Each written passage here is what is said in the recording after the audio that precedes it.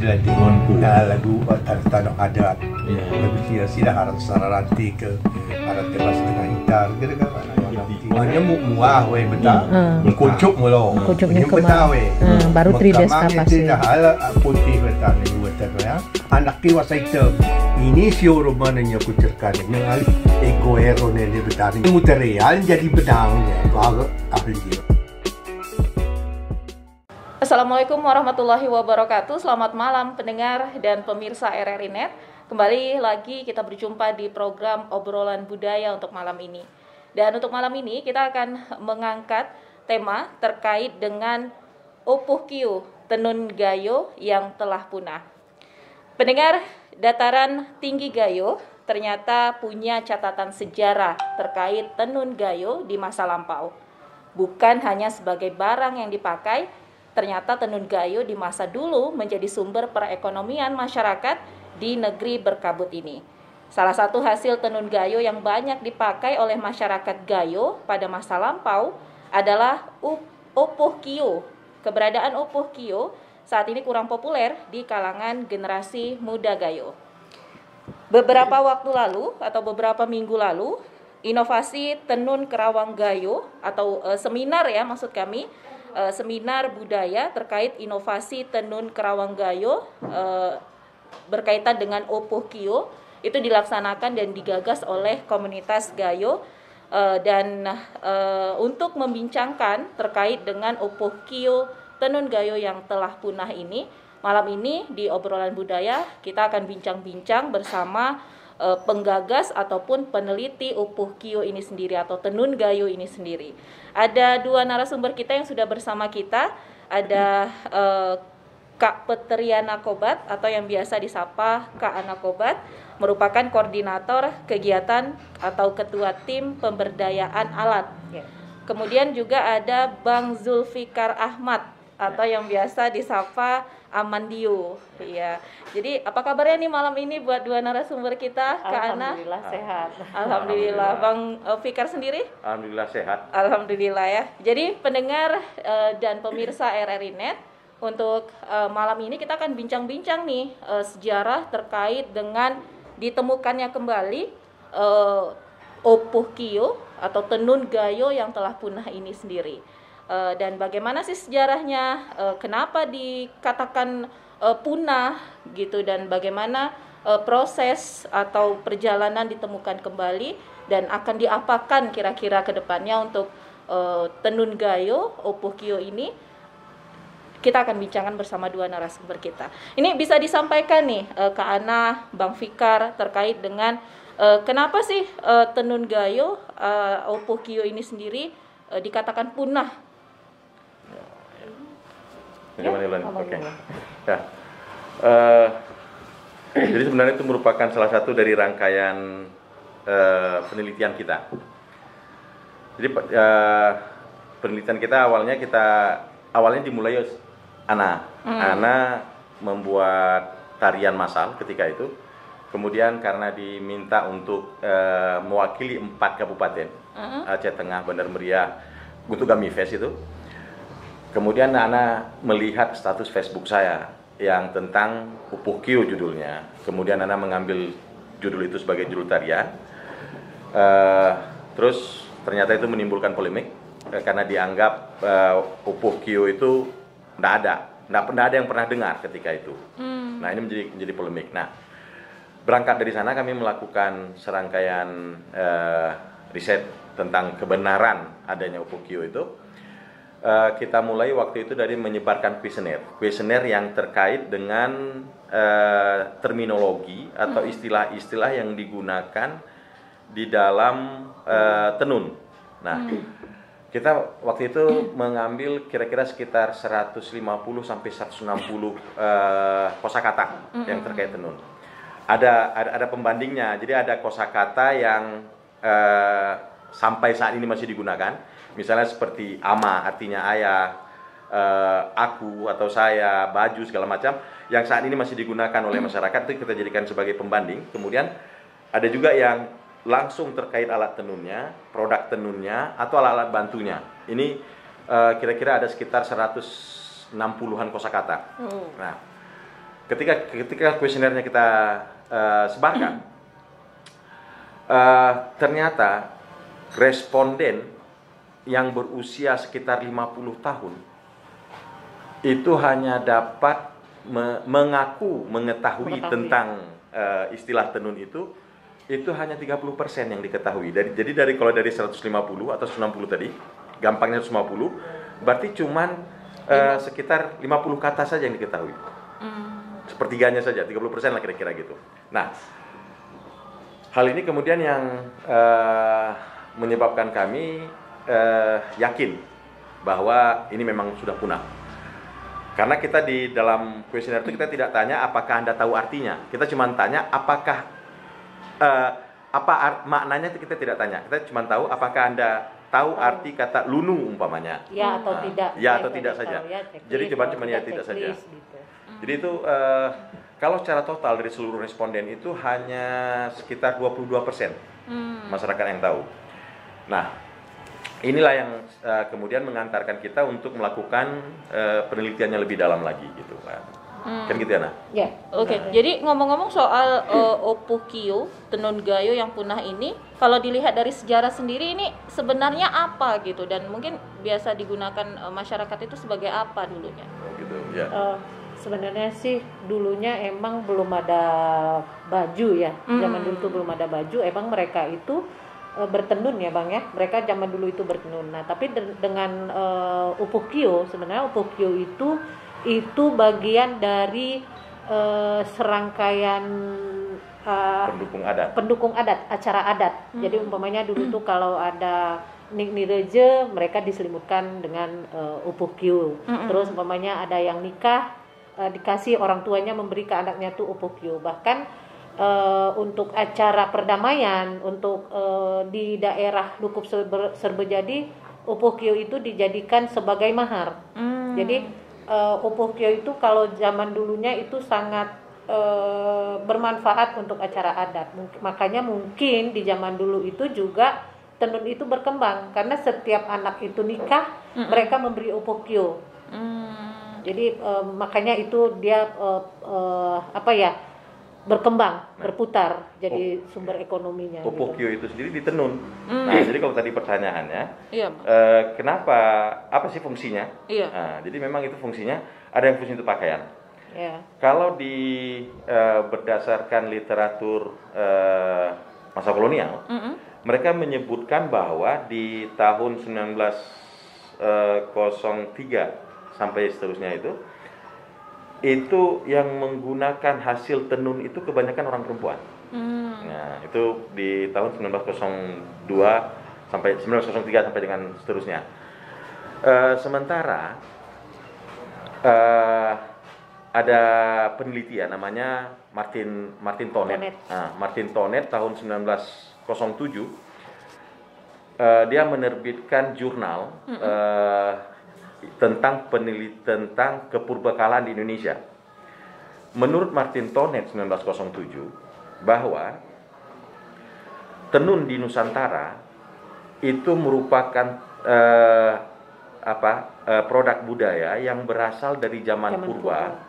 Kalau dilihat dari nama-namanya, Mm-mm. karena nama-nama alat tenun itu menggunakan eh, istilah-istilah eh, Melayu Polinesia. Nah itu kalau menurut Martin Tonet. Mm-mm.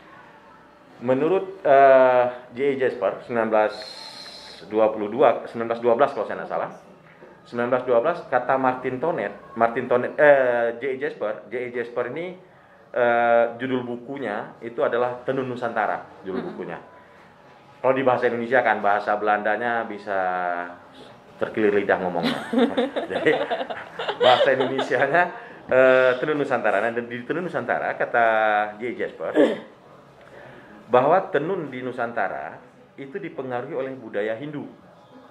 Nah, jadi kalau Martin Tonet pertama ngomongnya dari nama-namanya adalah nama-nama Melayu Polinesia, Mm-mm. J. Jasper ngomongnya bahwa pengaruhnya dari pengaruh Hindu.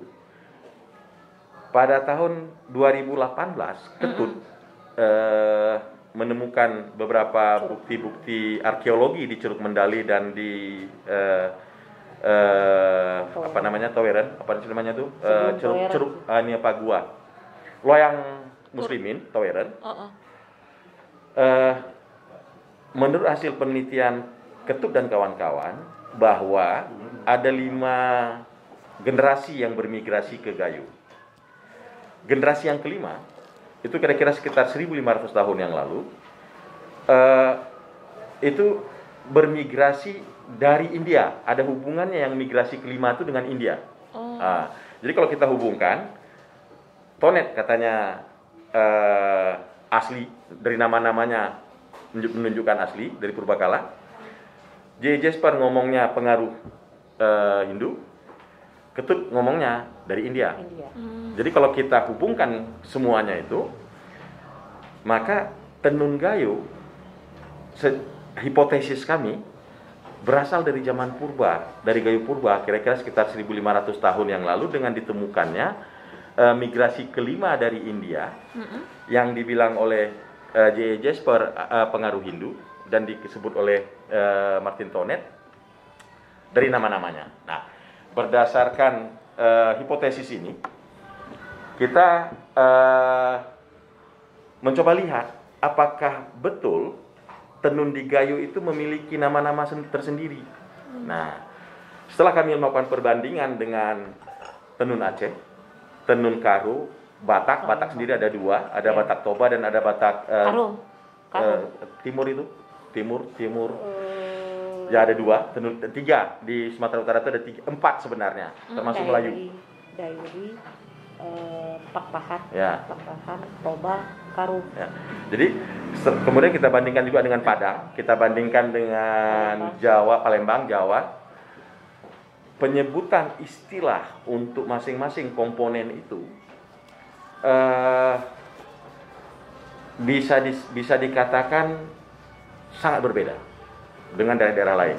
Kalaupun ada sama, eh, sangat sedikit. Umpamanya cerka di Gayo, Mm-mm. jerka di Aceh, kemudian serka di Karu atau di Batak, lupa lah. Karu, Karu. Nah, Karu. Nah, itu barangkali ada ada penyamaan dalam eh, logat barangkali ya. Tapi fungsinya Nah, sama. Fungsi sama, alatnya sama, fungsinya sama. Tapi yang lain, kalau seperti misalnya ceduh, Mm-mm. ceduh di Gayo itu disebut eh, tungkalan di Karu, eh di Batak, Batak. eh ah lupa lah pokoknya beda. Beda. Dengan dengan daerah lain beda. Ini yang me- membuat kami yakin teori dari Tonet eh, 1907 mengatakan dilihat dari nama-namanya. Ketika kita cek nama-namanya memang sangat berbeda dengan seluruh tenun di Nusantara. Eh, kalaupun ada persamaannya saya kira kurang dari 20% persamaannya. Kalaupun ada persamaan. Tapi fungsinya sama. fungsi sama. Se apalagi ya seperti eh, apa itu? Ada ada beberapa lah. Nah itu, nah itu yang membuat kita yakin bahwa ini adalah tenun asli Gayo.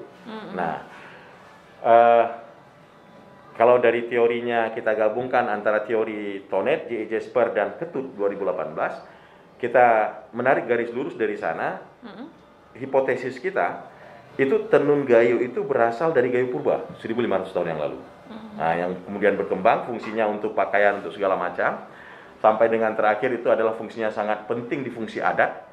Yang sangat penting di fungsi adat itu eh, dinamakan Upuh Kio. Nah, Kio sendiri eh, bahasa Gayo yang diterjemahkan oleh Hazu 1903 arti dari Kio itu adalah kain berpola yang mungkin berasal dari karu. Itu kata Hazu 1907.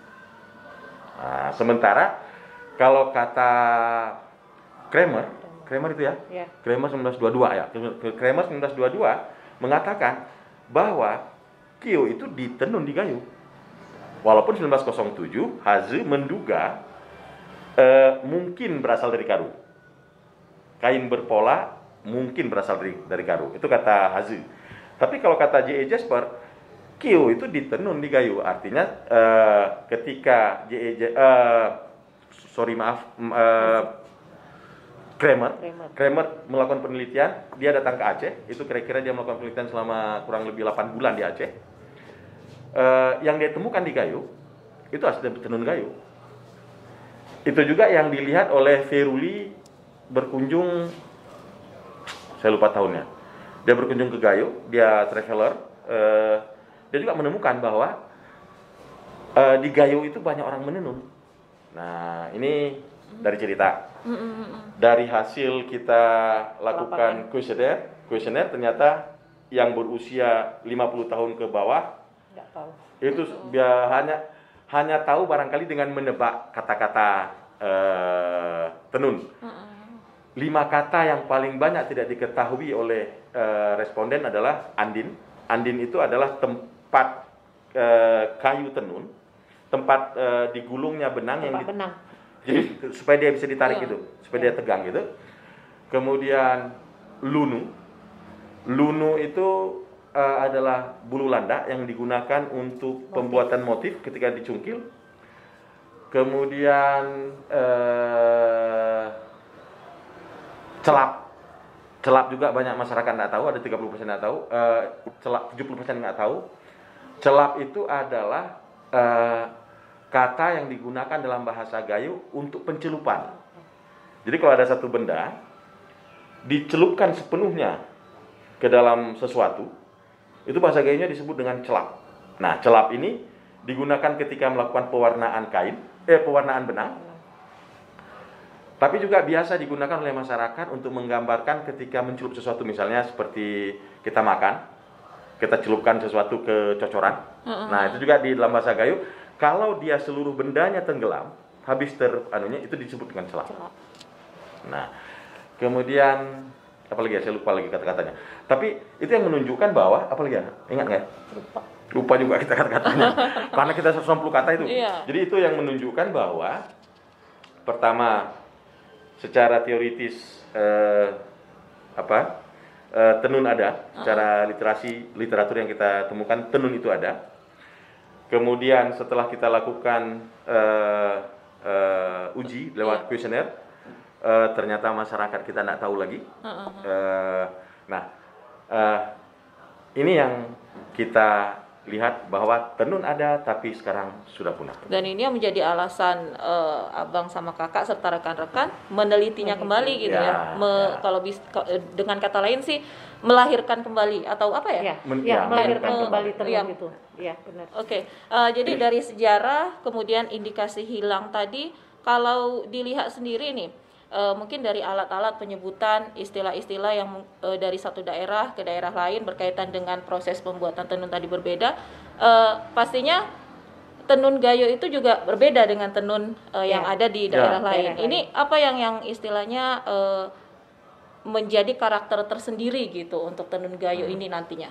Atau dari dulu lah katakan. Hmm, hmm. Eh, sebenarnya sih perbedaannya itu kalau mm, ke Aceh pesisir ya Mm-mm. mereka itu songket Ba- Produknya mereka itu songket. produknya songket jadi mereka itu bertenunnya bertenun songket Mm. terus eh, ke Palembang juga kalau di Palembang ada songket ada tidak juga Eh, karo eh, mereka tidak songket hampir sama ke gayo Mm-mm. cuman motifnya yang berbeda tapi kalau untuk dasar-dasarnya itu hampir sama dengan Ya. karo cuman untuk gayo itu warnanya lebih gelap Hmm. Kalau karo itu mereka eh, ada merahnya. Tapi kalau di gayo itu warna merah itu hanya segelintir tidak nom- eh, dominan. Tapi kalau Tidak untuk cerah. tidak cerah. Kalau di karo itu mereka cerah gitu. Nah terus kalau untuk daerah hmm, Melayu. Melayu mereka kesongket juga. Seperti kemarin itu di daerah Langkat. Langkat masih Ya. Aceh ya Ya, bukan ah, langkat-langkat eh, udah Sumatera Utara. di Sumatera Utara. Da- Di mereka juga itu eh, songket. Jadi perbedaan antara songket dengan eh, tenun biasa itu sangat jauh, sangat Beda. jauh bedanya. Nah, eh, di dalam songket eh, gayo itu sekarang kita masukkan motif kerawang. Jadi antara songket dengan kerawang itu jadi satu. Di dalam tenun ada kerawangnya. Kalau sekarang masyarakat bisa lihat tuh kak bentuknya gitu. Bisa Bang, ada eh, ya? ada Ya. bisa dilihat. Nah, ini kemarin tuh kebenaran kita di samping adanya seminar, Mm-mm. ada juga pelatihan menenun selama 24 hari. Nah, di dalam pelatihan menenun itu setelah mereka be- eh, belajar dasar-dasar tenun, tenun itu kan kain. Iya. Dasar-dasar eh, menenun itu diajarkan, kemudian mereka eh, selanjutnya dilatih untuk menyo- eh, membuat motif, motif kerawangnya seperti itu. Jadi kalau tadi eh, Ana melihat eh, perbedaan antara tenun gayo dengan tenun lain dari sisi produk hasil. Iya. Nah, kalau dari sisi eh, konstruksinya sendiri, perbedaan tenun gayo dengan tenun Aceh, tenun Aceh itu memiliki suri. Suri Ya. itu eh, sisir, Sisir. sis- se- seperti sisir. Di tengah. Walaupun dia hanya berbeda di sisir, tapi ini sangat mempengaruhi teknik menenun. Nah, eh, sisir itu gunanya untuk pertama gunanya untuk supaya benangnya lurus, jangan Lurus. jangan nanti kita Miring-miring. mereng-mereng Jadi kainnya. kain- jadi kainnya Ah, kan nggak lucu tuh. Kalau di gayo Bisa. itu namanya eh, Tepang. tepang. Nah, Nah, tapi nah. kalau di gayo itu dia bukan sisir. Ya. Tepang itu berupa ka- kayu Eh, eh, bambu. di ujung eh, Ah. bambu, di ujungnya dikasih besi itu untuk mengait mengikat, mengait mengikat. aja sehingga mengikat. dia tegang gitu. Tegang. Jadi benangnya tegang Jadi gitu. sampai Nah. ke depan sana dia bakalan lurus, nggak miring-miring hasil Ya. kainnya tuh gitu. Walaupun dia memang berbeda di suri. Kalau kit, kalau di gayo tidak tidak menggunakan suri dan tidak menggunakan tepang, itu bisa bisa buat kainnya itu jadi. Ya, Itu satu. miring-miring dia. Kebetulan karo itu menggunakan tepang. Hmm. Nah, ini ini antara lain persamaannya. Hanya saja yang seperti tadi bahwa di karo itu eh, benang-benang yang digunakan lebih cerah, Cerah. dan lebih kaku. Ya. Nah, itu itu itu uh, dari sisi produk gitu.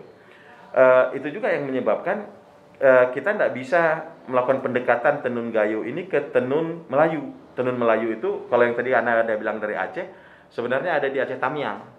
Aceh Tamiang sampai dengan ke kisaran uh, apa sih? Yang di Sumatera Utara itu yang awal kabupatennya? Burandan, Langkat. Langkat, Langkat, Oh, Langkat. Nah, iya. dari Tamiang ke Langkat ini kan uh, pengaruhnya pengaruh Melayu nih. Heeh. Nah ini ketika kita lihat juga eh, karena teknik mereka kita nggak tahu sebelumnya apakah di zaman dulu apakah mereka juga sama kayaknya dengan kita apa tidak. Tapi di di di sekarang itu juga ternyata mereka menggunakan songket. Nah ini kan sesuatu yang sangat berbeda dengan eh, produk tenun gayo. Kemudian secara teknis juga berbeda. Jadi kalau di Aceh itu untuk merapatkan benang pakai suri tadi itu di memang ditarik, dicetak namanya. Kalau di gayo itu menggunakan blide. Ya. Nah, blide ini yang memadatkan kain. Ini secara eh, teknis ini sangat berbeda dengan suri tadi. Ini yang membuat perbedaan dari sisi teknis dan dari sisi produk. Itu eh, perbedaan antara tenun gayo dengan tenun lain di setidaknya cuman sanggup pergi sampai ke Palembang. Ya, jadi nanti pendengar dan pemirsa RRI Net bisa eh, saksikan juga nanti akan ditayangkan ya perbedaan eh, antara eh, apa sih bentuk eh, tenun gayo ini sendiri nanti di layar gitu. Oke, untuk eh, selanjutnya nih eh, Bang eh, Fikar dan Kak Anas sendiri ya. Eh, proses dilakukannya eh, penelitian gitu ya. Di awalnya itu seperti apa perjalanannya, Bang? Ya. Awalnya sih emang kita eh, kita belum tahu ya prosesnya itu kita ke mana ke mananya kebenaran terus kita secara literatur kita sudah punya Mm-mm. sudah punya terus kita mencari untuk saksi mata Oh, nah kita benar. pergi untuk mencari saksi matanya itu kita pergi ke daerah Serule sama Toweran ya Di, di, di, Eh, di untuk tengah, dipakai untuk ke tengah. untuk untuk Aceh Tengah gitu. Jadi untuk awalnya kita belum bisa mengarahkan eh, apa ya eh, tenun di otomatis kita harus mengadakan harus kita angkat. Kita Ah. angkat itu bukan hanya dari segi buku aja, tapi kita harus membuat tenun itu jadi eh, sumber ekonomi masyarakat di Gayo lagi. Caranya gimana gitu. Ah, ah. Tapi kita eh, buktikan dulu dari literatur sudah, tapi kita mencari saksi mata. Kita pergi ke ke daerah Serule, eh, alhamdulillah di Serule ada salah satu saksi mata yang dia pernah pernah melihat menenun. Hmm. Eh, jadi umur nenek itu 125 ya bang ya. 100, Tahun ini 125. Ya 125 tahun. Saksi Eh, hidup ya? Ya saksi hidup. Jadi pada saat itu dia eh, kita eh, bertanya tentang eh, awalnya kita ke sana eh, dikasih tahu nenek itu paham tentang masalah kerto. Murbei. kerto ya Hmm, murbe. bahasa kalau bahasa gayanya kerto. Kerto itu kan salah satu sutra alat sutra. Kita taunya tenun itu eh, ada sutra juga gitu nah eh, ke sana itu urusan tentang sutra tentang kerto ternyata nenek tidak tahu kalau kerto itu bisa untuk sutra. Dia taunya itu untuk obat-obatan aja. Nah kemudian kita iseng bertanya pernah nggak sih dengar tenun? Eh, dia tahu tenun pernah melihat orang menenun bahkan neneknya yang menenun. Ne- eh, dia pernah melihat tenun itu akan tetapi dia bukan pelaku bukan pelaku tenun. Nah dia tahu eh, gimana cara nenun itu. Terus pada saat eh, Mewarnai. mewarnai gimana sistem mewarnanya nah dia eh, pada ma- masa nenek itu bukan lagi mewarnai kain dia udah sistemnya pakai mewarnai itu bukan lagi pakai alat-alat eh, bukan lagi dengan eh, tumbuh-tumbuhan tapi dia udah dengan kesume ya bang ya ada kesume ada alat yang sudah dijual di pasar, sudah Oh, disiapkan. jadi eh, Di masa dia. eh, eh, di masa dia tuh namanya kesume. Nah kemudian eh, pada saat kita bertanya, ini belum ke Opokyo nih, Iya. belum ke Opokyo. Nah iseng nunjukin eh, ada Foto-foto. nanya Opokyo itu warnanya apa sih? Anda pernah dengar Opokyo nggak? Eh, arah ada kata dia. Oh, Ah. apa warnanya? Hitam gelap. Sebenarnya sih itu bukan warna hitam, warnanya biru dongker, cuman Biru lebih tua. ke eh, biru tua, cuman lebih ke hitam jadinya gitu. Nah, pada saat buku kita tunjukkan ke nenek, nenek ini kebenaran dia tidak sekolah, Tidak jadi dia baca. buta huruf, Iya. dia nggak tahu huruf apa pun dia nggak tahu. Nah kita tunjuk buku, dia tahu ini opokyo. Terus kesannya pada saat kita menunjukkan buku itu, dia sedang membaca buku. Kesannya apa yang di dalam buku itu diceritakannya semua ke kita. Kita tanya sama anaknya, nenek bisa baca nggak? Enggak. Oh, Tapi yang dijelaskan itu Hmm. 95% sama seperti Ya. yang hasil literatur. Nah, di situ kita lebih yakin lagi Ya. bahwa eh, tenun itu ada di Gayo. Nah, kita tanya ke mana tenun itu? Ternyata pada masa Jepang eh, rumah kan dibakar, iya. eh, apa-apa itu dibakar. Nah, hilangnya eh, eh, alat tenun itu karena dibakar Di masa Jepang. di masa Jepang. Nah, itu juga kita kemudian pas eh, di daerah Mongal juga ada eh, saksi mata juga mengatakan bahwa eh, Opokyo itu ada, tenun itu ada dan dia bercerita dia tidak pernah membaca buku yang pernah kami kasih kebenaran salah satu eh, panitia mertuanya di Mm-mm. daerah Mongal. Dia cerita eh, dari mana kan biasa eh, mantu dat gila datang Mm-mm. nanya kami sedang ini ini ini, ceritalah dia tentang tenun akhirnya bapak itu bercerita tentang opokyo gitu Hmm. nah terus eh, di daerah Toweren itu ada alat eh, namanya cerka masih ada cerkanya untuk membuat menginstal benang Me- me- me- apa ya membuat benang membuat eh, bahasa gayanya menganti. eh, Eh, memintal. Ah, memintal, Memintal benang. Benang itu kan harus di ini dulu ya. Jadi eh, ada alatnya dan bapak itu eh dulunya di daerah Toweren itu emang daerah Penghasil. penghasil benang dan di situ tumbuh itu kapas. Hmm. Sumber ekonomi mereka di samping padi kapas. Ya. Nah seperti itu Jadi, gitu. jadi menurut, menurut narasumber kita, kalau dari yang di Serule tadi kita sebut Anan Rawi, Ya. Anan Rawi. Anan Rawi dengan yang di Toiren, mereka mengatakan bahwa kebun-kebun yang ada di Gayo pada masa itu tuh isinya kapas bukan Ya, kopi. termasuk di Serulo juga isinya kapas, Kapas kebun bukan mereka. kopi. Nah ini Bukan kopi. eh, ternyata ini menjadi sumber ekonomi masyarakat ketika itu. Hmm. Jadi kapasnya ada yang dijual, benangnya ada yang dijual, bahkan kainnya juga ada yang dijual. Nah inilah yang me- salah satu eh, sumber pendapatan masyarakat pada masa itu di Gayo. Eh, kalau seperti apa tadi seperti eh, bapak yang dirawi, Pak Syekh namanya Syekh Samsudin. Pak Syekh Samsudin ini pada saat dia kecil-kecil dia disuruh duduk di depan cerkak. Jadi pada saat diganti eh, dari benang, dari Ah, benang ah. di- eh, dari kapas dijadikan dijadikan apa? Dijadikan benang. Alatnya itu di di apa? Di diayun pakai kaki, pakai pedal. Ya, nah, gitu. muter setelah jahit, muter. ya. Ini kadang-kadang suka nyangkut. Nah, dia yang Nah, benerin. Dia yang tukang benerin di situ. Itu yang dia ingat. Nah, eh, Pak Syekh Samsudin tidak ingat ada proses menenun di di Toweren. Eh, Karena di Toiren itu tidak ada yang menenun. ah, dia, dia tidak ingat barangkali bahwa di Toweren ada yang menenun. Jadi kami duga bahwa di Toweran itu adalah pusat produksi benang. Kami duga. Ketika alasan kami mencari Anan Rawi tadi tentang eh, sutra, di literatur kami temukan bahwa eh, di Bebesen dan Pegasing pernah menjadi sentra ekstraksi sutra. Nah, sebenarnya kita ada bertiga ini timnya. Ada satu lagi Bang Adi ahli alam eh, Amanega. Bang Adi ketika dia kecil dulu, dia pernah melihat ibunya sedang eh, memintal sutra. Nah, cerka juga beliau dulu punya gitu. punya Jadi eh, kita mau dapat saksi mata yang eh, melakukan eh, ekstraksi sutra ini. Nah ini yang kita nggak ketemu memang sampai akhir kita nggak ketemu walaupun informasinya ada. Jadi dulu Babesen dan Pegasing memproduksi sutra itu untuk kebutuhan benang di pesisir. ya Nah di pesisir, jadi dijual ke pesisir itu benang ah, di kalau di Gayo sutranya cuma dibuat untuk sendal. Wow, sombong ya orang wow, bukan untuk baju ya. Wow. sutra sendal Untuk Karena yang kita untuk tahu sendal. kan baju, Iya. ini sendal. dan Nah, jarang orang pakai karena Iya. harganya yang sama Mahal. Itu yang membuat kami sebenarnya sangat penasaran, pengen tahu kok sendal? Kenapa Iya. tidak baju? Kenapa tidak eh, eh, upu pawak? Iya. Kenapa kenapa sendal? Itu kita pengen tahu. Itu kita nggak ketemu. Eh, Nah. mungkin next gitu kali ya. Ya, bukan Mungkin- next. Ini lebih ini mungkin ya.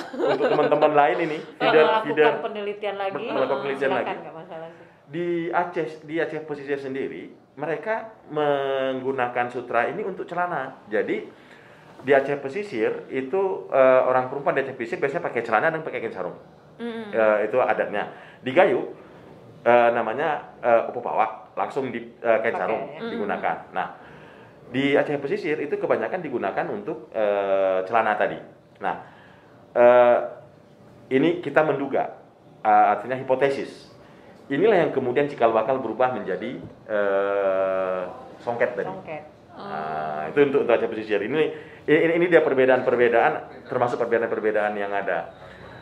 Eh, tapi alhamdulillah ya kita di akhir Ya, di akhir eh, acara. Jadi salah satu peserta itu, nah Waktu kebenaran seminar, kita ya? eh, eh, Hmm. bukan eh, pas Workshop. workshop, Oh, workshop. pas pelatihan menenun, kita itu eh, peserta itu emang agak galak sih panitianya. Apa kalau peserta tidak mampu, kita persilahkan untuk boleh mengundurkan diri, karena kan itu tidak pernah mereka lakukan. Iya. sangat tidak eh, mereka melihat aja tidak pernah apalagi melakukannya. Terus apabila dalam dua hari kita melihat eh, tidak ada kemajuan dari peserta itu kita ganti. Oh. kita ganti. Alasannya apa? Karena yang meng- yang meminta Antri. ikut itu banyak. Oh, oh. Eh, jadi udah seperti itu udah. Nah salah satu peserta ini dia ke sana cuma satu hari setengah satu ya. hari satu hari, setengah, aja. semalam.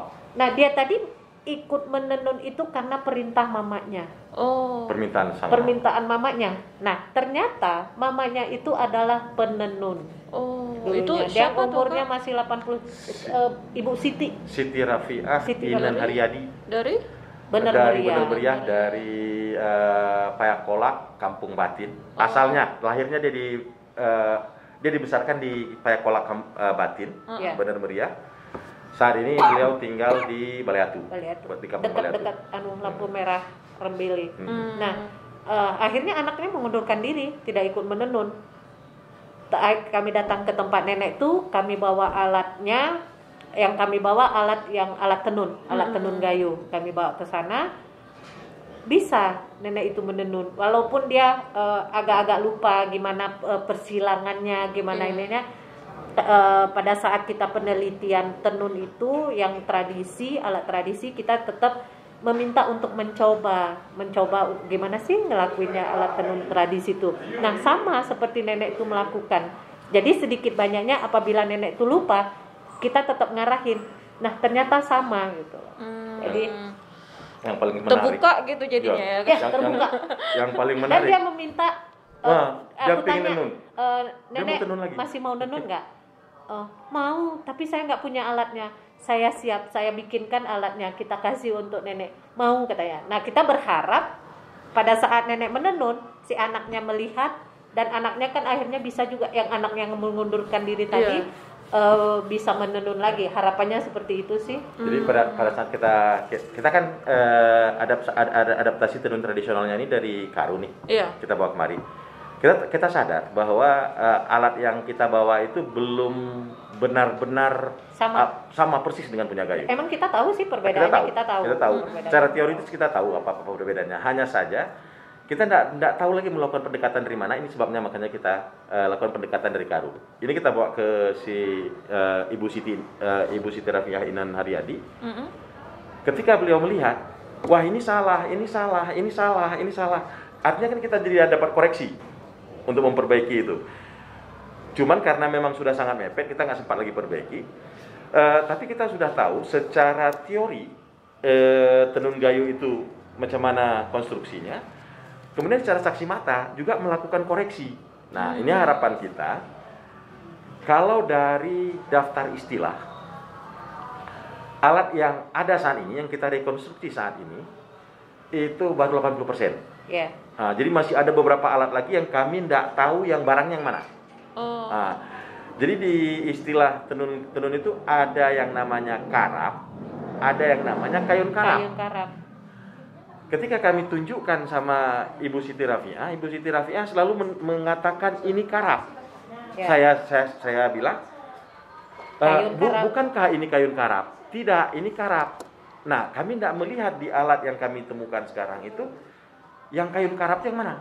Oh. Ini jadi dari dari proses penelitian kami masih ada kira-kira sekitar 20% komponen alat tenun gayo itu yang belum bisa kami identifikasi. Nah, dari yang hasil yang identifikasi sendiri masih ada beberapa komponen yang ternyata bukan punya gayo. Ya. Hmm. Kami memang udah tahu dari awal, Udah tahu dari awal. tapi ada penegasan dari Ibu Siti Rafiah tadi. Jadi ketika Ibu Siti Rafiah kita tunjukkan alat tenunnya, dia dengan penuh kerinduan memegang Dipegangin. semua gitu. Eh, jadi apa ya seolah-olah bertemu dengan anak yang dia tuh sampai eh, sangat Penuh haru ya, Iya. penuh haru waktu itu. jadi eh, itu dia. Mungkin karena itu udah santapan sehari harinya dia jadi begitu ketemu tuh hal yang sangat sesuatu banget. Seperti ne- eh, nenek Rawi. Nenek Rawi itu yang di Serula itu dia tidak menenun tapi begitu ngelihat eh, buku Bu- bu- yang ada gambar gambar-gambar. menenun Hmm. Ino gure jeman nenun kata dia benar-benar ngomongnya itu yang Indah kali Iya. perasaannya masa Dia- itu gitu. kita aja dengernya tuh eh, apa ya sedih tapi seneng gitu loh Hmm. kayaknya sesuatu banget gitu ini lagi ini ini lagi dan Dia dia, tahu jelaskan. itu foto ini lagi apa 39 sih apa Eh, 37 bunga bunga sembilan. Hmm. Bunga ini bulan tengah nos, sembilan. eh, bunga bulan 9 ini tengah ini. Jadi dia paham itu tadi yang seperti aku bilang tadi bahwa eh, nenek itu melihat buku itu seolah-olah dia bercerita ke kami tentang isi buku itu sedang membaca buku itu seolah-olah seperti itu. Nah seperti nenek Siti tadi eh, cuman ada satu perbedaannya di nenek Siti. Mungkin pada zaman dulu itu untuk motif itu diadakan seperti yang dibilang sama Pak Ya. Fikar tadi pencelupan. Tekniknya- tekniknya berbeda. teknik motif itu dia umpamanya ini benang ini benang eh, benang dasarnya tadi. Nah diikat kalau mau bikin motif bunga diikat dengan kertan umpamanya jadi umpamanya ini dasarnya udah hitam semua nih. Eh putih. Nah pada diikat ini kan udah putih nih. Diikat. Pada saat diikat dengan kertan kertan kan lebarnya sekian berapa senti. Diikat pakai kertan pada pencelupan ke hitam. Akhirnya kan warnanya hitam. Yang diikat ini kan tetap putih. Hmm. Nah, pada saat eh, untuk motif Nenek Siti dia tidak eh, beda, beda dengan alat yang kita bawa yang dari Karo karena saat yang dari Karo itu eh, alatnya itu untuk motif ada satu lagi di ujungnya. Emang dia sistemnya yang itu tadi apa dicongkel. Ya, ya, Eh, oke. Jadi mungkin pada zaman dulu nenek itu tidak me- me- me- melakukan pemotifan seperti itu. Gitu. Dia Ini- melakukan Ini kebetulan kita pakai anu nih, baju pokio nih. Iya. Ini eh, ini sebenarnya adalah eh, proses menenun di karu, bukan di gayo yang ini. Nah, hanya saja ketika kami menunjukkan gambar ini ke Anan Rawi tadi, Tahu dia. Anan Rawi langsung menyebutkan bahwa ini adalah eh, motif tulen sembilan. Nah, ya, Nah, ketika tulen kita sembilan. kita coba pelajari, ternyata jadi di di di Indonesia itu ada tiga jenis cara pembentukan motif. Kalau yang menang yang eh, vertikal memanjang, Heeh. itu disebut dengan benang lungsi lungsi di Indonesia. Di Gayo itu disebut dengan eh, benang dirin. Kemudian yang arah horizontal itu disebut dengan benang pakan. Kebetulan di Gayo juga disebut dengan benang pakan, sama. Oh. Nah, di Indonesia ada pembentukan motif secara lungsi vertikal benangnya, ada pembentukan motif secara horizontal. Hanya Bali dan itu pun cuma satu kampung, satu-satunya kampung di di Asia Tenggara yang memadukan pemotifan antara lungsi dan pakan. Nah, di dunia cuma ada tiga. Heeh. Jepang, lu- eh, Bali, saya satu lagi lupa. Nah, Gayo pemotifannya itu berdasarkan benang lungsi, benang vertikal, benang dirin. Nah, makanya dibuatlah dia. Ini kalau kalau dilihat, ini sebenarnya adalah benang-benang. Ini sedang dipersiapkan. Setelah ini disiapkan, itu dilukis dulu di situ. Dilukis dengan menggunakan kalau orang Gayo menggunakan eh, jeruk nipis dengan Kunyit. kuas eh, Iya. ya, eh, kuasnya itu tebu, ampas tebu. ampas tebu Ah, kuasnya ampas tebu itu dilukis dulu. Jadi ini dilukis dulu di sini semua motif Baru yang ingin di, di- diinginkan. Mana yang terkena dengan eh, jeruk nipis tadi, itu yang kemudian diikat. Itu yang di, tadi diikat dengan eh, Ketan. dengan kertan Kertan. maupun anu juga bisa sih kalau ter- kalau kertan itu kan dia lebar Iya. tapi kalau Ciki. cike itu kan kecil Ah. jadi kalau mau ukuran besar dia memakai kertan kalau ukuran kecil memakai Hmm. dan kalau dia motif yang lebih besar lagi di dalam literatur disebutkan menggunakan eh, daun de kekepur. ya Daun de kekepur ini pada masa lalu digunakan sebagai pembungkus tem- eh, tembakau dengan pembungkus eh, sirih eh, blue ya. Nah, ini termasuk yang kami nggak bisa ketemu dalam penelitian. Nah, setelah dia nanti diikat-ikat, baru dia kemudian dicelup seperti kata Ana tadi di setelah dia kan nanti membekas itu Iya. ketika digambarkan membekas, yang bekas itu diikat semua tuh. Nah ini diikat-ikat semua. Ini kainnya mau warna apa nih? Oh kainnya mau warna merah umpamanya. Maka diceluplah dia ke pewarna merah. Hmm. Nah, tinggal yang diikat tadi sisa warnanya gitu. it- itu yang tidak tidak tidak tercelup sehingga dia membentuk motif. Barulah kemudian dia ditenun. Itu sebabnya eh, Nek Siti tidak paham di dia dengan eh, untuk pencongkelan dia nggak dia dia dia nggak tahu. Nggak tahu. Dia tahunya cuma tenun terus langsung jalan seperti itu. Kenapa? Karena begitu jadi kainnya udah udah bermotif. Oh, benar. Nah, itu dia teknik yang digunakan di eh, Gayo. Mm-mm. Kalau teknik yang digunakan di Aceh ketika melakukannya, proses ini tidak ada. Ya. Proses menggambar. karena sangat jauh berbeda antara songket dengan yang bukan songket Iya, ya. Itu sebabnya makanya kita lakukan pendekatannya Karo bukan Aceh. Hmm. Kalau motif sendiri itu ada juga gitu, maksudnya Ada, eh, ada. kalau dilihat dari tenun gayo ini sendiri. Ada, ada. Kalau dulu itu cuma ada tiga motif yang ada di dalam tenun gayo, Mm-mm. temun berangkat, tapak sleman. Oh bukan, Eh, bukan. maksudnya yang danu.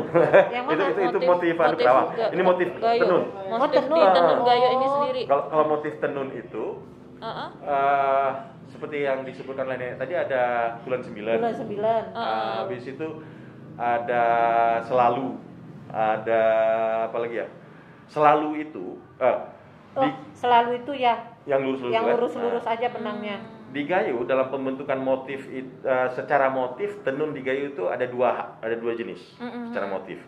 Yang pertama namanya petik. Mm-mm. Ya. Petik adalah tenun dengan motif sederhana. Contohnya eh, dia lurus-lurus saja.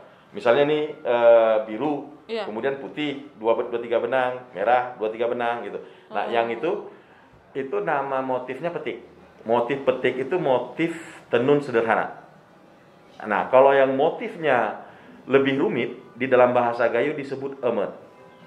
di upuh kio itu Mot- motif petik. petik, tadi Petik. yang di upuh kio. Nah, Hmm, Tapi kalau yang di emet itu dia eh, jadinya dia banyak. Ya bunga-bunganya banyak. Bunganya, bunga-bunganya tuh banyak gitu. Sedangkan di kio itu cuman ada eh, apa? warna putih, Ah. merah, Biru muda biru muda. dan biru tua. Eh, dasarnya, dasarnya biru tua. dasarnya biru tua. Kak, dasarnya. ini sebagai eh, katakanlah eh, penggagas gitu ya, peneliti. Terus udah kasih alat juga ke eh, pelaku tenun tadi, walaupun udah tua ya kita harapkan generasinya.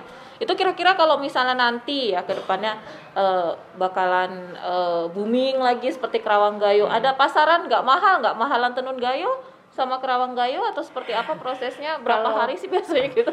Jadi eh, sebenarnya sih kita Ah. penelitiannya itu alatnya alat eh, gedokan. Uh-uh. tradisi kalau yang tradisi eh, namanya gedokan yang Uh-uh. tradisional tapi pada saat pelatihan kita mem- memakai alatan yang ATBM Mm-mm. alat tenun bukan eh, mesin Iya. Nah, eh, manfaatnya kalau yang gedokan dia satu selendang, ukuran selendang ya, standar selendang berarti setengah meter Iya. ya. Itu kalau yang gedokan itu satu minggu baru selesai baru selesai menenun satu satu satu ka- satu selendang. Nah, sedangkan di ATBM satu selendang itu kalau emang kita tekunin satu hari paling lama dua hari satu selendang. Jadi kan selisihnya jauh banget gitu. Iya. Emang kalau dari segi kualitas antara gedokan dengan eh, ATBM bagusan yang gedokan karena benang yang untuk gedokan itu dia lebih halus lagi, lebih halus lagi. Nah, eh, terus untuk eh, apa motif motif untuk digedokan itu dia lebih eh, emang tidak begitu banyak ya. Eh Lebih kaya. digedokan lebih, Lebih kaya, kaya. sebenarnya kalau untuk motif dibandingkan dengan ATBM cuman itu tadi masalah perputaran untuk eh, perekonomian kalau yang gedokan itu sangat lama. Ya. Sangat Jadi, lama.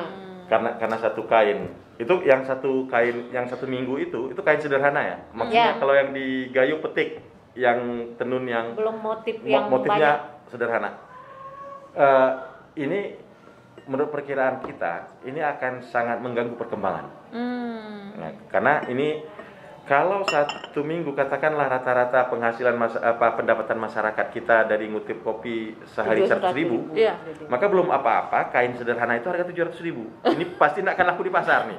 orang Nah, jadi mikir Berarti ini yang jadi alasan sekarang lebih dikembangkan ke, ATBM. modern tadi. Ah, gitu. nah. jadi perkembangannya biar lebih cepat Ya. mencari minat minat dulu Ah, Nah, masuk sedang- pasar dulu kita. Ya, untuk Nek City kita ngasihnya yang gedokan. Gedokan, yang- Karena yang emang. Nek City kan pahamnya yang gedokan. Iya, Nggak benar, mungkin benar, pada saat. Nek City umur udah 89 lebih Kita kurang kasih ya. ATBM. Kita kasih ATBM sedangkan dia Hmm. pahamnya yang gedokan. Kalau Nah, sekarang berapa sih alatnya itu tadi? Berapa berapa unit ada udah nih Kak disediain Sepuluh. sama Oh, 10. yang, Yang ATBM. ATBM ya, ATBM. Nah, kebenaran kemarin pada saat workshop itu eh, kita memberi awalnya peserta workshop itu 120 orang Mm-mm. yang kita kerjasama nih dengan Kemendikbud Mm-mm. yang kita ajukan itu 120 orang. Setelah kita mengadakan penelitian, ternyata belajar menenun itu saya kirain nenun itu cuma tarik-tarik begini doang, tiga hari juga selesai tuh gitu dalam pikiran saya gitu. Terus yang kita tahu membuat motif itu kan pencelupan itu tadi dicelup kayaknya nggak begitu ribet Ya. gitu. Nah dalam proses penelitian ternyata eh, Nggak belajar nggak mm, seminggu itu aja nggak dapet Mau ketemu. nggak ketemu gitu ketemu. jadi akhirnya udah udah stres kita sempat stres gimana caranya? Karena kalau sebulan nggak mungkin. Sedangkan dari keme- kementerian dia menyi- menyiapkan waktu itu hanya 24 hari.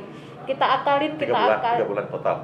Oh, Total sama penelitian. Semua tapi kegiatan. untuk uh, workshopnya hanya 24 hari untuk workshopnya. Jadi akhirnya kita mang- uh, manggil kebenaran kita dapat juga guru dari uh, Kabanjahe. Kabanjahe.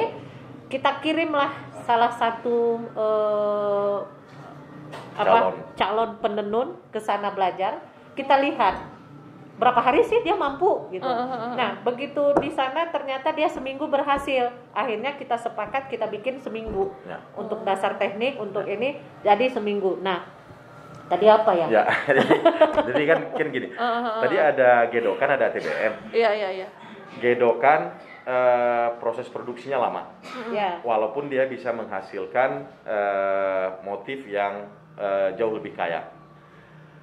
Kita khawatir kalau ini yang kita kembangkan, Lama. ini Peminatnya sedikit. Pertama peminatnya sedikit, harga harganya akan mahal dan kita belum tahu nih hasilnya gimana nih. Iya. Nah, ketika kita kirim calon penenun tadi untuk uji coba di Kabanjahe. Kabanjahe, ternyata dalam waktu seminggu dia bisa men- me- Langsung. bisa menjadikan motif kerawang kayu. Ja- jadi Nah. dia prosesnya itu dari Dari mulai belajar dulu belajar semua proses. benang.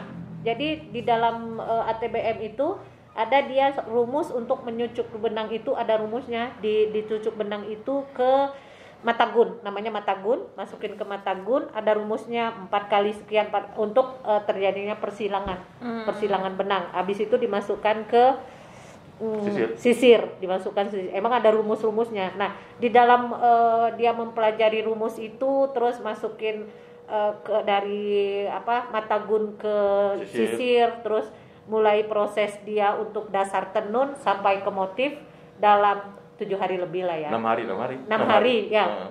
enam hari Bisa Nah, kekejar sama dia. Akhirnya kita minta ke panitia tim yang turun ke lapangan eh, survei eh, calon penenun itu bertemu langsung. Dengan kita bertemu langsung kita tahu kemampuan Ya. peserta itu Harus sejauh cerdas mana. Ini berapa orang nih berarti calon penenun gayo nah masa depan nih? 48 jadi, jadinya. jadi awal awalnya Heeh. eh, direncanakan kita mau melatih 120 orang Oh. Nah, kalau 120 orang kita latih, itu mereka cuman bisa tahap cucuk benang dan Cucu benar juga nggak selesai. Itu saja. Bakalan nggak selesai, Nggak selesai. produknya. Karena kami selesai. juga panitia nyucuk benang seminggu, di Seminggu dalam gedung kita itu. nyucuk belajar. Belajar karena kan itu gitu. ada rumus-rumus. Apa Ya, ternyata kerumitan-kerumitan yang yang yang muncul di lapangan bukan pada saat itu menenun. lebih lebih banyak hal non teknis yang kami tidak perkirakan karena Ya. kebetulan kami juga nggak tahu. satu minggu itu eh, ba- bahkan 8 hari ketundanya akhirnya untuk workshop itu ketunda Ya. satu hari Ya, karena, kami persiapan, belum siap. persiapan. Jadi ternyata ada, banyak kerumitan.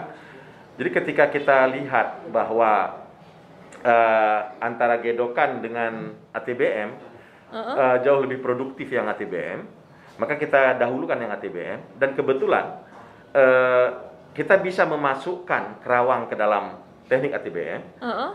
Ini kita melihat bahwa ini potensi pasarnya jauh lebih bagus Hmm. daripada Jadi bayangkan kalau kita cuma menjual kain motifnya garis-garis terus lembarnya 700.000 ribu minimal Oh, itu belum ada keuntungan itu itu belum harga belum harga benang belum ongkos yang Iya. lain-lain Iya.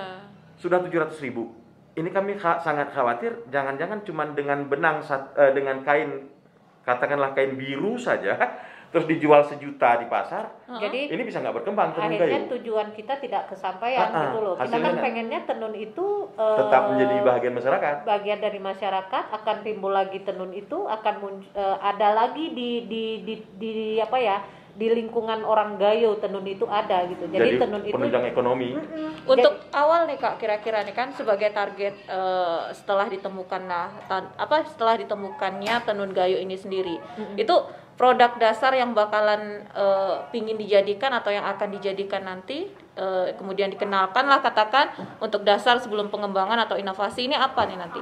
Jadi ya kita memang dari awal menginovasi Heeh, tenun itu sebuah produk yang berbeda. heeh, Kerawang gayu juga produk yang berbeda. heeh. Kerawang gayu eh, digunakan untuk eh, dengan menggunakan sulam zaman Bordir, dulu iya. dan bordir saat ini. Ini yang kemudian kita inovasi kita gabungkan keduanya, Iya, tenun dan kerawang. heeh. Dengan me- menginovasi tenun kerawang gayu, kita berharap ini bisa menjadi salah satu alternatif pasar heeh. di masyarakat. Kerawang gayu yang sudah terkenal saat ini dari dengan motif bordir, kalau ini produknya ada beberapa jenis pilihan, ada diversifikasi, tentunya ini akan memperbanyak pilihan masyarakat untuk membeli produk-produk kerawang. Ya. Ini bentuknya nanti bentuk kain, Kain. gitu aja Kain. dulu ya. Ah, bisa kain baju, bisa Oh, kain sarung. untuk uh, Jadi- kerudung, bisa untuk macam-macam kain bisa. sarung, kain baju. Jadi Kebetulan kan mesin yang kita buat eh, ukurannya itu eh, lebih kain besar. baju. Hmm. Jadi Ah. eh, kita awalnya itu di di mereka itu rata-rata ukur kain ukuran alat tenun itu 80. 80 Eh, hanya untuk senti- selendang. Sentimeter, sentimeter. Hmm. Jadi kalau mereka mau untuk membuat kain nggak- udah nggak 80 bisa. mereka jahit lagi Hmm. untuk nyatuin kan kualitasnya kurang begitu bagus. Iya. Akhirnya kita membuat alat itu yang ukuran kain yang standar itu 115. Ah. Hmm. 115 ya 115 eh 110, 20 ya. 115. Heeh. Tapi alat alatnya jadi 120. Iya, 120. Jadi emang sih lebarnya kain itu eh, tergantung kita menghani benangnya. Kalau kita menghaninya lebar, eh, apa matagun ma- masukin benang ke matagun, ya jadi kainnya tuh jadi lebar, Jadi juga. eh, yang yang yang di apa? Yang di workshop kita itu memang kita buat dia lebih lebar dari yang umum digunakan di kaban jahe Mhm. dengan tujuan supaya pengrajin kita pilihannya bisa banyak. Jadi Iya. kalau dia mau mau kecil boleh, mau Mau untuk besar boleh. misalnya untuk ikat kepala Iya. uh, bisa menggunakan itu, mau untuk sal bisa, untuk sarung bisa, untuk baju bisa. Hmm. Tapi kalau yang yang kebanyakan yang ada di Kabanjahi kita lihat sebenarnya kita ngelihatnya Selendang. sebenarnya dari Sumatera dari dari dari apa Melayu sampai ke Karo itu rata-rata kecil-kecil. Nah, ini kita sengaja memang buat yang besar supaya bisa diproduksi. Nah, supaya ini bisa diproduksi, maka eh, eh, Ana itu memberikan kepada delapan pengrajin terbaik dari hasil workshop, delapan pengrajin terbaik, sembilan sebenarnya. Iya, sembilan Ina, sama- sembilan, iya, Ina, sembilan. sembilan ATBM tadi itu diberikan kepada sembilan pengrajin terbaik, sudah benang, alat produksi segala macam. Menurut perkiraan kita, eh, alat produksi yang diberikan kepada delapan pengrajin terbaik itu cukup untuk memproduksi eh, ukuran kain sarung Mm-mm. 20-an. dua 15 sampai dengan 15 20. sampai 20 Nah, kain. harapan kita 15 sampai dengan 20 eh, bahan baku yang kita berikan itu Mm-mm. Bisa digunakan oleh pengrajin untuk modal mereka selanjutnya. Jadi Hmm. istilah Berusaha. maksudnya gini, mereka itu untuk awal itu tidak mengeluarkan modal dulu Mm-mm. gitu loh. Jadi eh, otomatis kan mereka setelah mem- eh, mem- menghasilkan kain tenun, Memproduksi. mereka memproduksi dan mereka menjual. Iya. Mereka menjual itu dengan begitu dibeli udah ada untuk modal selanjutnya. Benar. Jadi ini untuk- kapan targetnya kak kira-kira bisa mulai ini dikenal mereka- masyarakat lah Kita atau di- evaluasi pertama Kita evaluasi pertama ini tanggal eh, 15 Januari. Januari. Januari, ya. Kita akan survei ke lapangan. Kita lihat sejauh mana mereka udah eh, mengerjakan tenun itu. Emang kita punya perjanjian kontrak dengan mereka. Apabila dalam enam bulan mereka tidak ada produksi sedikit satu pun, pun kita akan tarik kita alat tarik. tenun. Kita tarik kita ka- Jadi dari 40 peserta kita itu memilih 14 orang. Mm-mm, mm-mm. Eh, delapan orang terbaik pertama yang mendapat alat tenun untuk pertama. Kalau ternyata mereka cuman mendiamkan alatnya di rumah, tidak diapa-apain, selama enam bulan ini kita tarik untuk kasih ke cadangan selanjutnya. Oh. Eh, sehingga ini kita harapkan bisa produksi. Nah, yang menggembirakan, eh, alhamdulillah sudah ada beberapa desa yang punya rencana menggunakan anggaran desanya, dana Untuk desanya, ke tenun itu. untuk membuat tenun dan dilatih oleh yang delapan yang terbaik ini tadi.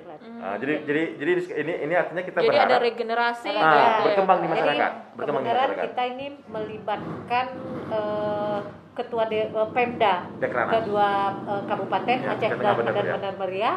Alhamdulillah kedua eh, ketua Dekranas itu sangat merespon Sangat. dengan baik. Hmm. Jadi mereka men- menanyakan kelanjutannya gimana? Kita jelaskan. Kita tetap akan ini terus umpamanya kalau emang eh, ketua Dekranas eh, mau melanjutkan kita berharap yang melanjutkan mereka tapi tetap kita ikut mengontrolnya Ya, ya. Jadi kita kita lakukan evaluasi.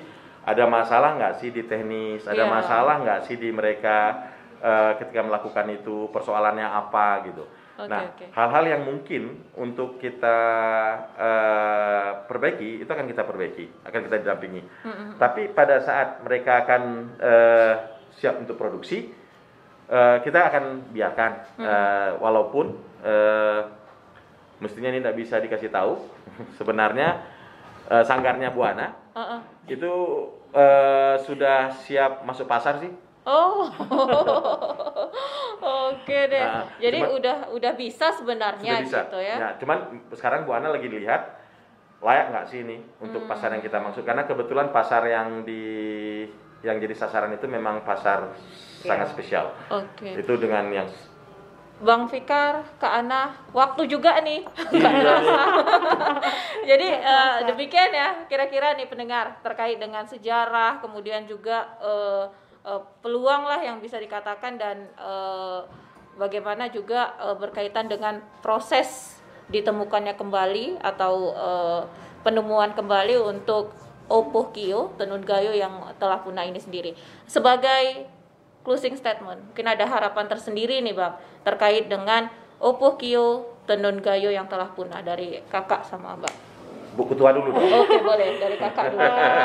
Kalau aku sih harapannya eh, untuk tenun akan memasyarakat lagi Terus khususnya untuk Upuh Kio itu menjadi uh, hal yang sangat apa ya dikembalikan, uh, ke, dikembalikan ke ke dasarnya. Di, uh, jadi pada Fungsi. saat uh, pelantikan uh, bupati, reje dan pokoknya pejabat-pejabat yang ada di Gayo, Upuh Kio itu uh, dimanfaatkan. Jadi bukan disewa tapi menjadi hak milik. Hmm. Jadi uh, tujuan eh, emang zaman dulu seperti itu. Tujuannya apa? Penenun itu akan berputar. Hmm. Tapi kalau disewa tidak akan berputar. Oke. Seperti itu. Itu sih harapannya seperti itu. Oke. Kalau kalau saya sendiri sih harapannya tenun tradisional, mumpung lagi ada Net City, eh, ini bisa berkembang Benar. juga. Kemudian tenun ATBM juga bisa berkembang, sehingga dengan berkembangnya tenun di Gayo dan kita bisa memiliki merek tenun Gayo, ini bisa masuk ke pasar sehingga masyarakat bisa punya banyak pilihan untuk penghasilannya. Nah, itu Oke. kira-kira. Ya baik, terima kasih untuk eh, Kak Petriana Kobat, Kak Ana, eh, koordinator kegiatan Ketua Tim Pemberdayaan Alat untuk eh, penemuan ya Opokio Tenun Gayo yang telah punah ini sendiri dan juga Bang Zulfikar Ahmad eh, Amandio eh, sebagai pengumpul data atau ketua tim riset Ketua tim untuk uh, Opuh Kio Tenun Gayo.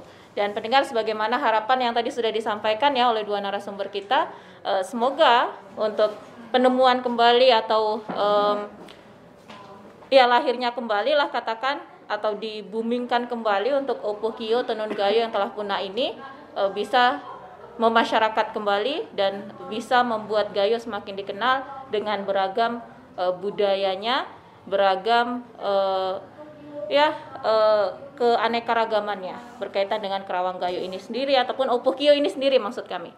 Dan sampai jumpa nih untuk program obrolan budaya di edisi mendatang produksi RRI Takengon. Terima kasih untuk pendengar dan pemirsa RRI Net. Assalamualaikum warahmatullahi wabarakatuh. Waalaikumsalam warahmatullahi wabarakatuh.